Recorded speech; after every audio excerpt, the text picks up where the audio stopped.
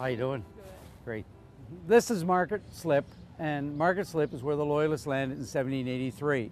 And originally, uh, if you were even across Market Square to the other side, it was considered too far out to do business because all the businesses developed right along the wharves that they built here.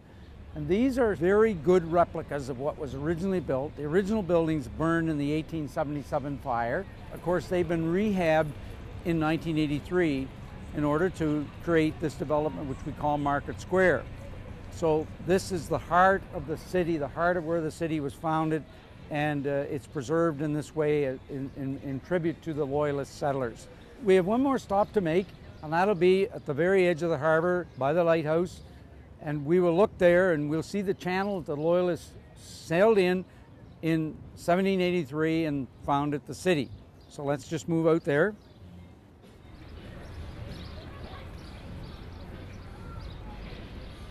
In 1783, when the Loyalists arrived, they sat out in the bay for almost two weeks because of the fog.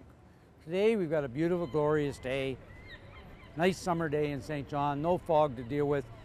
And we, we think back to the hardship of the Loyalist landing, coming in here and having to build a city, many of them spending the first winter in tents because provisions weren't here in the city.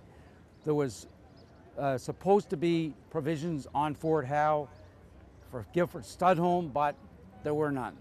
And they struggled mightily to live through that first year. And then what happens the next year, they get a few buildings built in the area Market Slip, and it all burns down, and they have to start all over again.